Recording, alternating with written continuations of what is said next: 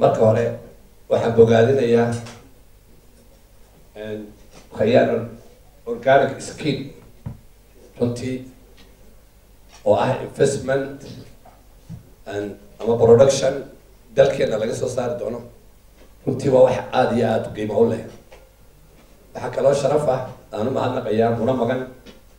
Oo marka hore dee mashruucaa maalgelisay mashruucu marka hore qaranka faa-iida u leeyay marka labaadna inan baa maalgelisay marka saddexaad eriyooyin badan buu mashruucani wax ka taraya runtii. Maxay haytay? Markaa markay waxa weeyaan sharafna way u tahay dadkeena iyo qurbajooguba inay maalgelinta inoo sameeyaan wadamo badan oo ku jira marxaladda state building ama waddamada dee dub la dhisayo ee dagaaladu marka hore ka dhaceen qurbajoogoodu wuxuu ka geystay door weyn oo xaalle markaa runtii inay qurbajoog ku daydaan oo ay sameeyaan investmentkaasi oo wax aada iyo aada qiimo leh oo wax lacagteeni siduu wasiirku sheegayay iyo dhaqaalaheeni inaga bixi jiray maxay ahayd?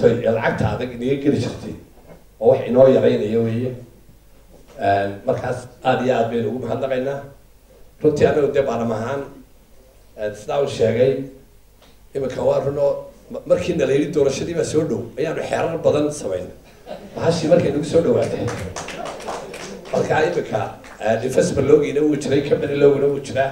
Runtii waan dardar gelin doonaa insha allah. Marka waxaa laga yaabaa inaanu sanad iyo intaa hadhay inaanu inta badanna issii raacino runtii. Dowladda xukuumadda cusubna runtii iyada lafteedu dee dardar bay la soo gashay. Waxaan filaynaa inay waxyaalo fara badan iyo caqabado badan ay qaadi doonto insha allah maalgelinna in dee wax laga lagaga qeyb geli doono.